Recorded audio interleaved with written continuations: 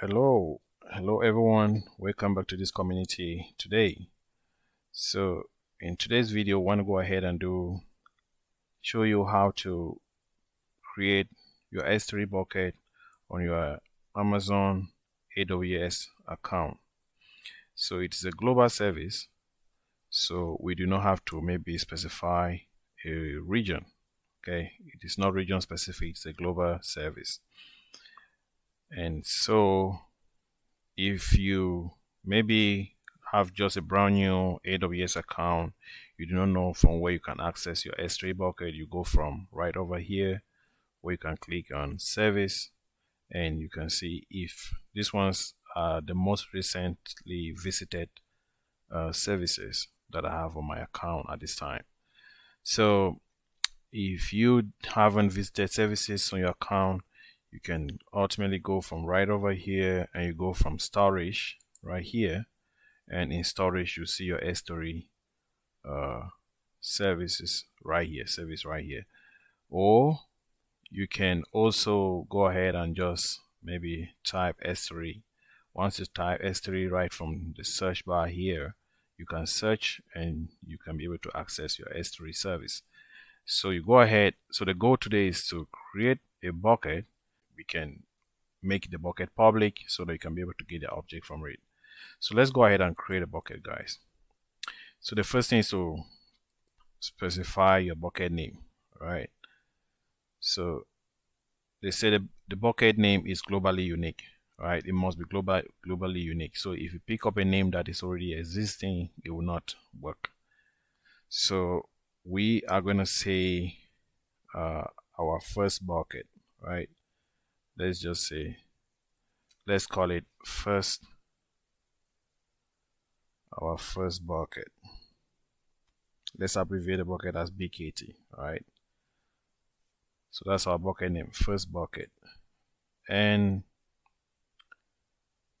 um so let's go ahead. So it says the bucket name must not contain spaces. Okay that's why I put a dash right here. It must not contain a space or uppercase letters. So you cannot include an uppercase letter inside your bucket name. That's the first thing you want to check out. So right here it's a global service but you have the option to choose if you want to put it maybe in a, in a specific region all right so sometimes people just want to choose the specific region because of uh, latency issues right so to make the objects that are in the bucket to be quickly accessible. So if you had created previous buckets then obviously you want to choose maybe from some of the settings some of the pre-existing settings that you already uh, used when you were creating other buckets. But let's go I want us to be fundament fundamental about it. So I won't uh, maybe use previously uh, existing setting that I already used to create some buckets. So right here, you may choose to uh, select any of the options right here. You want to specify if the buckets are, can be managed only by the owner or not. Or you may want to just choose all objects in these buckets are owned by this account, right? So there is a tendency that you can enable the bucket to be such that it can also be accessed by other accounts, right? So if you want it to be managed just by this account, it's still okay. So let's maintain it uh, that bucket will be managed by this account. Then, since we want to make the bucket public, you want to uncheck this, right? Block all public access. So we want to make it public so that we can be able to get a, a we can be able to get an object an acknowledgement or that you are aware that your bucket is going to be public and your objects will be accessible. And one good thing about bucket is that you want to be able to enable you want to enable maybe versioning so that as maybe if they upload another version of the different objects that you have in the bucket you can have a different version of the bucket. So we will enable versioning. And if you have some tags, you can add some tags. So we can add some tag just for formality, right? And you can go ahead so this is just an encryption so server encryption so that one you may just want to let it be and if you look at advanced uh, settings so nothing much object lock maybe it says disabled but it doesn't matter.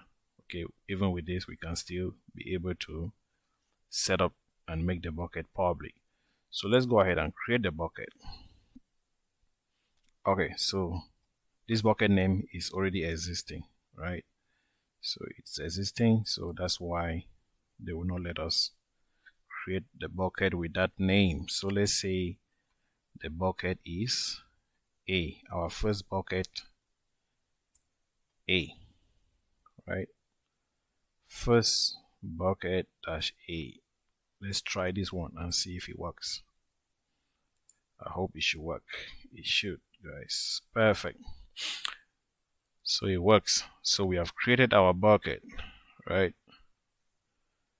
Okay this other bucket were other pre-existing buckets that I had so that's why it's saying buckets not available. I deleted these other ones already so pretty much. So let's go ahead refresh and see make sure that to see if our bucket is right there. Okay this is our bucket guys. This is the bucket that we just created. Remember we actually uh, uncheck the option that we want to make the bucket public. So yet when you get over here it says access. When you see right here access it says object can't be public. The bucket is public but the objects that we're going to upload in here won't be public. So this is the goal. We really want to make this the possibility of object to be able to be public so we can upload object into it and equally get and insert objects into the bucket let's go ahead and we are going to edit the bucket policy okay? So um, you want to do if you want to do that you go from uh, permissions all right? So you go from permissions and right here this is the bucket policy. So you want to edit the, pot, the bucket policy. So you go ahead click on edit once you click on edit it will tell you you see there's no policy right here but you can generate the policy that is going to enable the bucket objects to be public. You click on generate policy. So this is it. So for the policy you will select right here the policy type that we want to generate is an S3 bucket policy right? And after selecting S3 bucket policy we get right here. So want to see want to make sure that it's allowed okay? So we put the star here. The star here simply is simply saying that everything should be allowed. All the objects in the bucket should be allowed okay? And you get right over here. So want to look at the action so obviously the action we need just two actions. And the two actions that we need is to be able to get an object and we should be able to insert an object into the bucket. That is the option the action that we want. We want to be able to get an object. Let's see if we will see insert an object if you want to be able to list the object maybe list job or whatever you can select any one you want. Okay. Okay. So right now for okay we want to be able to put an object right here. Perfect. Okay. Then we need the Amazon resource name for the bucket and actually insert it right here and the Amazon resource name is right here guys. So this is it right here. You can copy it right here right from here. And we get back over here. We get it pasted here. This is Amazon resource, resource name for the bucket we are creating. And you can get ahead take a forward slash and a star. So that is to say we saying that we want to make all the objects in the bucket public. So we can add a statement I mean add a policy. This is a policy right here. And we can go ahead and generate the policy. We just generated a policy. This is a policy we just generated guys. And so we can carefully copy this policy that we just generated. Once we get it copied we go back right here and we can paste the policy right here. Perfect. And we can go ahead and save the policy right? If we scroll right here you see we can save the policy from right here and we save. Perfect. So we have just edited the bucket policy and we can go back to this bucket. And right here you see access is now public. So objects that are being uh, put in this bucket will be public. That's what we wanted to do. Okay guys so we can go ahead. If you want to upload an object into the bucket now it's pretty simple. So we just go into the bucket from here and we can upload maybe a folder or or maybe uh, any file right? So we want to upload